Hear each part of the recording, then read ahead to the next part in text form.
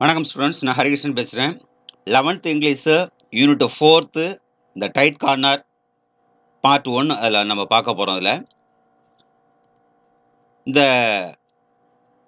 prose tight corner E V Lucas எழுதின கதை அது. பேஜ் நம்பர் ஒன் நாட் ஃபைவ்ல இருக்குது கதையை நான் நேராக அதில் போயிடுறேன். டைமிங் நிறையா பிடிக்கும்னு நினைக்கிறேன். Many of us have you unused நம்ம பயன்படுத்தாத old or valuable item at the home. அதாவது மிகவும் பழைய மதிப்புமிக்க பொருள் வீட்டில் அதில் பயன் வச்சுருக்கோம் அதில். If you have wish to get rid them அந்த பொருட்களை வந்து வீட்டிலேருந்து வெளியில் கொண்டு வரணும். ரெட்டு தம்னாக்கா வெளியில் கொண்டு வருது we can sell them at the auction auction அப்படிங்கிறது. ஸோ அவைகளை என்ன பண்ண முடியும்? வீட்டிலேருந்து வெளியில் கொண்டு போகணும் அப்படின்னாக்க ஒன்றும் ஏலம் விடணும். அதான் உள்ளது. வீட்டில் உள்ள ஏலம். அப்படிப்பட்ட பொருட்களில் ஐட்டம்ஸ் லைக் அ பெயிண்டிங் வரைபடம் ஜுவல்ஸ் நகைகள் ஹவுஸ் ஹோல்டு ஆர்டிக்கல் வீட்டு உபயோகப் பொருட்கள் அப்படின்னு அர்த்தத்தில் சொல்கிறோம் வெஹிக்கிள்ஸ் uh, வாகனங்கள் even house can be auction வீடு கூட என்ன பண்ணும்? ஏலங்கள் விற்கப்படும் அப்படின்னு சொல்லுவாங்க அடுத்து பாருங்கள் ஒரு ஃப்ளோ சார்ட் புக்கில் அதில் கொடுத்துருக்காங்க. அதில் உள்ள என்ன சொல்லுதுன்னு பார்ப்போம். அந்த ஃப்ளோ சார்ட்டை below will be help you understand how and auction is guns conducted so இந்த ஃப்ளோ சார்ட் உனக்கு உதவும். எப்படி வந்து கண்டக்டர்னாக்கா நடத்துகிறாங்க அப்படின்னு அந்த இளம் எப்படி நடத்துகிறாங்க அப்படின்னு அர்த்தம். இதில் ஒரு பத்து பாயிண்ட் இருக்குது அந்த பத்து பாயிண்ட் அதில் பார்ப்போம் இல்லை so enter the sale where you item are displayed for the sale என்ன பண்ணுற முதல்ல விற்பனை அறைக்குள்ளே உள்ளார போங்க. என்டர் த சேல் ரூம் விற்பனை இருக்கலாம் அங்கே அங்கே பொருட்கள் எல்லாம் கண் க- கண் காட்சிக்கு அந்த இடத்துல வச்சுருப்பாங்க. காட்சிக்கு அந்த இடத்துல வச்சுருப்பாங்க அதில். அதை முதல்ல பார்க்கணும். ரெண்டாவது பாயிண்ட் பாருங்க decide item which you buy நீ முடிவு பண்ணும் என்ன பொருள் வாங்க போகிறேன் அப்படிங்கிற விஷயத்த நீங்கள் அதில் முடிவு பண்ணும் get the card with registration registration number from the staff மூணாவது பாயிண்ட் என்ன நினைக்க அங்கே உள்ள ஆஃபீஸ் ஸ்டாஃப் அதாவது ஓஏ இருப்பாங்க அல்லது இன்சார்ஜ் இருப்பாங்க அவங்கள்ட்ட வந்து என்னென்னா கார்டு நீ வாங்கணும். கெட்னாக்கா வாங்குதல் பெறுதல் அப்படின்னு சொல்லுவாங்க. அடுத்து வந்து இந்த ஆக்ஷனர் ஆக்ஷனர்னாக்க அந்த ஏலம் விடுறவங்க open by quoting quoting a price for each article இந்த நாலாவது பாயிண்டில் ஏலம் விடுவர் என்ன பண்ணாக்கா அந்த பொருளுக்கான விலையை வந்து நிர்ணயிச்சிருப்பார். இந்த பொருள் இவ்வளோ இவ்வளோ அப்படின்னு சொல்லிட்டு நிர்ணயிச்சிருப்பார். So each buyer hold up this his or her card அப்போ வாங்க வரும்போதும் ஒவ்வொருத்தரும் நம்ம என்ன பண்ணாக்க அந்த அட்டையில் வந்து தி ஸ்டேட்ஸ் ப்ரைஸு அட்டையில் வந்து என்ன பண்ணாக்க அந்த விலையை வந்து நம்ம மதிப்பிட்டு சொல்லணும். என்ன மதிப்பிட்டு சொல்லணும்? Which is the higher then opening price அங்கே பத்து ரூபா இருந்துச்சுனாக்கா நீ பதினஞ்சு ரூபா கோட் பண்ணி காட்டினா தான் அந்த பொருள் அந்த இடத்துல கார்டு எடுத்துக்குவாங்க. அது மாதிரி ஒரு மீனிங்ஸ் அடுத்து பாருங்கள் இந்த auction continue continues with each buyer quoting a higher price until the item is considered the sold ஆறாவது பாயிண்ட்டு அந்த பொருள் விற்கும் வரை. எந்த பொருள்?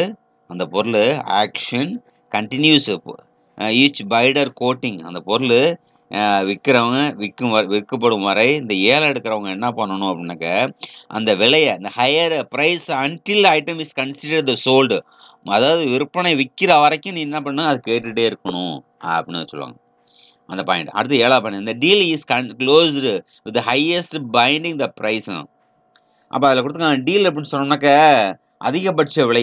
ஒருத்தர் கேட்டுக்கிட்டு இருந்தாங்கனாக்க அது ஏலம் வந்து முடிவுக்கு வந்துடும் அப்போ என்ன பண்ணுவோம் இந்த டீல் இஸ் க்ளோஸ் அப்படின்னாக்கா முடிவுக்கு வந்துடும் என்ன அது ஹையஸ்ட் பைண்ட் த ப்ரைஸ் யாரும் ஹையஸ்ட்டாக எடுக்கிறாங்களோ பதினஞ்சாயிரம் ஒரு தரம் பதினஞ்சாயிரம் பதினஞ்சாயிரம் பதினஞ்சாயிரம் சொல்லுவான். அதில் வந்து முடிஞ்சிருச்சுனாக்க அதை அப்படியே க்ளோஸ் பண்ணிடணும். அடுத்து பா எட்டாவது point the highest price is announce price so price வந்து அனௌன்ஸ் பண்ணிட்டாங்க. பத்து லட்சம் போகுது அப்படின்னாக்கா அதை வந்து மூணு லட்சம் மூணு தடவை சொல்லுவாங்க. பத்து லட்சம் பத்து லட்சம் பத்து லட்சம் சொல்லுவாங்க. அது வரை இந்த மாதிரி உள்ளது.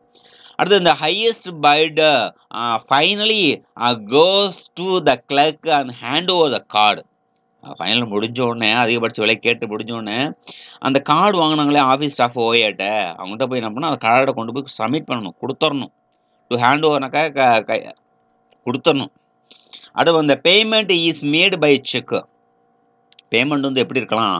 காசு வந்து எப்படி இருக்கலாம்னாக்கா செக்காக கூட எழுதி கொடுக்கலாம். செக்னாக்கா காசு சொல்லணும் ஆர் அல்லது any other approve mode of the payment இல்லைன்னா கரன்சியாக கூட அந்த இடத்துல அதில் கொடுக்கணும் and article is concept the sold அப்படின்னாக்க பணம் கட்டினா விற்கப்பட்டாத பொருள் வந்து அப்போ தான் அனௌன்ஸ் பண்ணப்படும் அப்படின்னு வச்சுருக்கோம் அடுத்து இனிமேல் பாடத்துக்கு வருவோம் இல்லை இதில் இன்ட்ரோடக்ஷன் யூனிட் ஃபோர் டைட் அதில் கொடுத்துருங்க பேஜ் நம்பர் இருக்கும் இந்த டைட்டான ஈவி லூகாஸ் நெரேட்ஸ் விவரித்து சொல்கிறாரு என்ன? இந்த story how he was rescue எப்படி அதுலேருந்து காப்பாற்றப்படுகிறார்? ஃபார் த ஹியூமனிடேஷன்ஸ் அந்த மனிதனத்திலேருந்து எப்படி காப்பாற்றப்படுற எங்கே?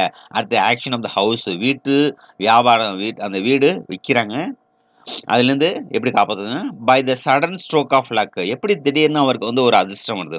ஸோ லெட்ஸ் ரீடு நல்லா வாசிப்போம். ஆன் கெட் நோன் தெரிஞ்சுக்குவோம். How to got himself a tight corner அது தெரிஞ்சுக்குவோம். எப்படி இருந்து ஒரு சிக்கலான சூழ்நிலையிலேருந்து எப்படி வெளில வராரு? And found is way to situation எப்படி இந்த சிக்கலான சூழ்நிலையிலேருந்து வெளில வராரு அப்படிங்கிறத நம்ம அதில் கண்டுபிடிக்க போகிறோம் அப்படின்னு இந்த talking was running the critical situations டாக்கிங்னாக்கா ஒரு பேச்சு ஒன்று ஓடிட்டு இருக்கு. என்ன ஓடிட்டு இருக்கு அப்படின்னா கிரிட்டிக்கல் சுச்சுவேஷன் கிரிட்டிக்கல் கிரிட்டிக்கல் சொன்னோம்னாக்க ஒரு இக்கட்டான ஒரு சூழ்நிலை அப்படின்னு சொல்லுவோம்.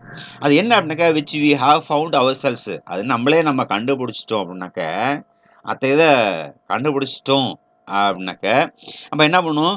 தோஸ் ஹூ லீவ்ஸ் அதில் வந்து வசிப்போம். வேற அட்வென்ச்சரஸ் எனப் டு காம்ப்ரமைஸ் எனி ஸோ அப்படி கொடுக்கும் பொழுது அது வந்து மாறிக்கொள்ளும் பொழுது அது ஒரு அனுபவத்தை தருது. ஷார்ட்டாக சொல்லணும்னாக்க ஆக்ஷன் ஏலத்துக்கு போயிட்டு மீண்டும் வந்தோம்னாக்கா அது ஒரு அனுபவம் இருக்கும் அப்படின்னு ஃபர்ஸ்ட் லைன் அந்த இடத்துல சொல்லுவாங்க. அட்வென்ச்சரஸ் அப்படின்னு சொன்னோம்னாக்க துணிவு அப்படின்னு வார்த்தை ஸோ இங்கே பாருங்களேன். One man had a catch catch catch காட்சும் a tight இந்த Brittany and escaped by that skin of டீத்துங்கண்ணா so Brittany அப்படின்னாக்க அது ஒரு மாகாணம். அது எங்கே இருக்குனாக்கா பிரிட்டனில் உள்ள சாரி பிரான்ஸில் உள்ள ஒரு இடம் அது. அது வடமேற்கு பகுதி அப்படின்னு சொல்லுவோம். ஸோ அங்கேருந்து என்ன நடக்குதுனாக்க அங்கேருந்து ஒருத்தர் மாட்டிக்கிட்டானா? எதில் மாட்டிக்கிட்டானாக்க இந்த டைடு இந்த பிரிட்டானி அப்படின்னா டைடுனாக்கா அலைகள்னு சொல்லுது கடல் அலைகள்லேருந்து அதுலேருந்து தப்பிச்சு அதில் வந்துட்டான். அது எப்படி வந்தானாக்க அந்த நூல் இலையில் தப்பிச்சான் ஸ்கின் ஆஃப் த டீத் அப்படின்னு சொல்லுவோம் இல்லையா? இது வந்து இடியம்ஸில் உள்ளது ஸ்கின் ஆஃப் த டீத் நூல் இலையில் வந்தான். இந்த மாதிரி கொஸ்டின்ஸு பப்ளிக் எக்ஸாமில் கேட்பான். இது அண்டர்லைன் பண்ணி வச்சுக்கலாம். ஸ்கின் ஆஃப் டீத்துங்கிற வார்த்தை. அனதர் ஹார்ட் பீன் இன்னொருத்தன். And elephant when he wounded the tiger charge at him so இன்னொருத்தன் வந்து என்ன பண்ணாக்கா யானை மேலே உட்காந்துருந்தானே எலிஃபண்ட் வெந்த ஊண்டோடு டைகர் ஊண்டோடு டைகர்னாக்கா தாக்கப்பட்ட சிறுத்தை அல்லது புலி அப்படின்னு சொல்லுவியா அதை வந்து தாக்குனுச்சான். அவன் வந்து அங்கே அதில் மேலே இருந்தான் அப்படின்னு வச்சுருக்காங்க ஸோ அடுத்து பாருங்களேன் தேர்டு மூணாவது ஒருத்தன் வந்தானா? Third had been top of the story of the burning house அப்போ மூணாவது என்ன பண்ணாக்கா வீடு எரிஞ்சிட்டு இருக்கும்போது மேலே உட்காந்துருந்தானா என்னது? வீடு எழுந்திரு எழுந்திரிச்சுக்கும் போது மேலே அந்த தளத்து மேலே வீட்டினுடைய மேலே அந்த எல்லாம் உட்காந்துருந்தானு அதான் தளத்து ஸ்டோரி அப்படின்னாக்கா தளம்னு சொல்கிறது சோயதி அப்படின்னாக்கா தளம் பேர்னிங் ஹவுஸ்னாக்கா எரிஞ்சு கொண்டு இருக்க வீட்டு மேலே அந்த உட்காந்துருந்தானு ஃபோர்த்து நாலாவன் வாஸ்டு டோப்பர்டு டோப்பர்டு அண்ட் த வார் நாலாவன் வந்து என்னன்னாக்க வந்து கடுமையான போரில் தாக்கப்பட்டானு. டோப்பர்னாக்கா கடுமையான போரில் வந்து தாக்கப்பட்டான். But you talk you all talk so நீங்கள் எல்லாமே பட் யூ டாக் நீங்கள் பேசிகிட்டு இருக்கீங்க சொல்கிறீங்க ஒன் ஆஃப் த கம்பெனி அந்த ஃப்ரெண்ட் சர்க்கிளில் ஒருத்தன் வந்து அதில் சொல்கிறான் ஆஸ் யூ டைட் கார்னர் அப்படி இருக்கும்போது ஒரு இறுக்கமான ஒரு சூழ்நிலையில் வேறு always the physical affairs so சம்மந்தப்பட்ட கா அந்த சிக்கலில் அந்த கா இதில் இருக்கணும் அப்படின்னு அதில் சொல்கிறார் அதில். சொல்லிட்டு ஷூர்லி நிச்சயமாக they can be tighter so இந்த மென்டல் அதாவது தே கேன் பி அவர் இருக்காங்க. எப்படின்னாக்கா டைட்டர் அந்த இறுக்கமான சூழ்நிலை இருக்கும் பொழுது வென் தே ஆர் மென்டல் மனதளவில் இறுக்கமான சூழ்நிலைகள் இருக்கும் பொழுது அப்போ என்ன பண்ணாக்கா ஷூலி நிச்சயமாக அந்த இடத்துல ஃபிசிக்கலாக பேச வருது. அப்படி இருக்கும் பொழுது அந்த இடத்துல இருக்காங்கன்னா அந்த டை அந்த டைட்டஸ்ட் கா காம commoner comer I was ever in was at so நான் வந்து ஒரு தடவை நான் மாட்டிக்கிட்டேன். ஐ வாஸ் எவர் இந்த கிறிஸ்டியன்ஸ் கிறிஸ்டியன்ஸ்னு சொல்லும்போது அவருடைய பேர் கிறிஸ்டியன்ஸ்னால் என்னங்கிற வார்த்தை அதை சொல்ல பாருங்களேன். Christians as I had been lunching rather well at a club in the saint James street with இந்த old friend from up so lunching சொன்னோம்னாக்கா மத்தியான சாப்பாடு சாப்பிட்டுக்கிட்டு இருக்கும் பொழுது சாப்பிட்டு கொண்டு வந்திருந்தேன். அப்போ rather well at the club எங்கேனாக்கா நல்ல ஒரு ஹோட்டலு அது கிளப்னாக்கா தங்களுடைய ஹோட்டலு அந்த தெருவனுடைய பேர் இந்த செயின்ட் ஜேம்ஸ் ஸ்ட்ரீட்டு அந்த ஜேம்ஸ் ஜேம்ஸ் ஸ்ட்ரீட்டில் அந்த தெருவில் இருக்கும்போது ஏ ஓல்டு ஓல்டு ஃப்ரெண்டு அப்படின்னு சொன்னோம்னாக்கா ம பழைய நண்பன். அவன் எங்கேருந்து திரும்ப வந்தான் ஃப்ரம் அப்ராட் அப்ராட்னாக்கா வெளிநாடு சொல்லுவான் அண்ட் பாசிங் அலாங்க பாசிங்னாக்கா அப்படி வா காலாக நடந்து போகிறது நடந்து போகிறேன் a king street afterwards அந்த தெருவுக்குள்ள அந்த நடந்து போகும் பொழுது அதாவது அதில் நடந்து போயிட்டு இருந்தோம். ஹி பரிசுவேடடு பரிசுவேடுனாக்கா தூண்டுதல். என்ன தூண்டி விட்டான். என்ன? டு லுக் பார்ப்பதற்கு என்ன? எங்கே பார்ப்பதற்கு? என்ன அட் சேல் ரூம் எங்கேனாக்கா சேல் ரூம்னாக்கா ஏலம் வைக்கிற இடத்த பார்க்கறதுக்கு நான் தூண்டல் விட்டான். அந்த பிளேஸ் வாஸ் ஃபுல் அந்த இடம் பூரா எப்படி இருந்துச்சுன்னா நிரம்பி வழிஞ்சிருந்துச்சு அப்படின்னு சொன்னாங்க.